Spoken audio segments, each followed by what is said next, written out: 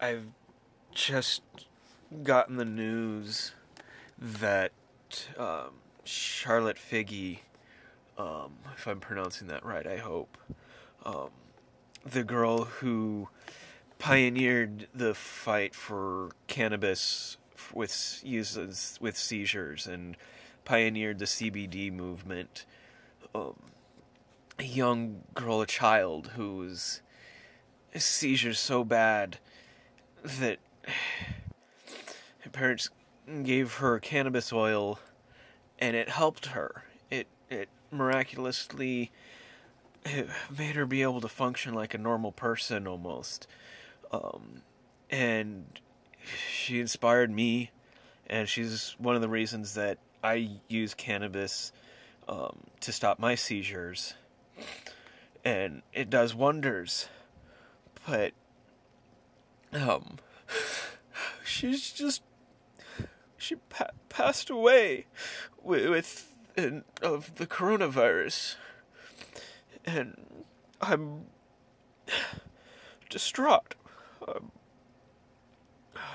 crying for this loss of. She was only 13.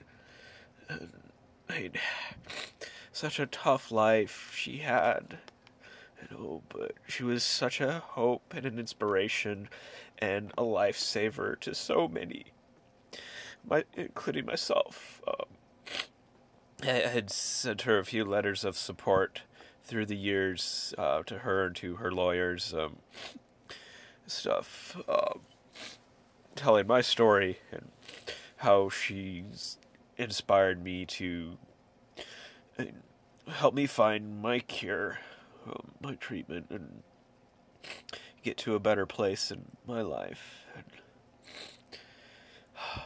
And, she's, well, she's not having any more seizures. She will never have another seizure again. That is a blessing that her soul will be free of that, of this pain. But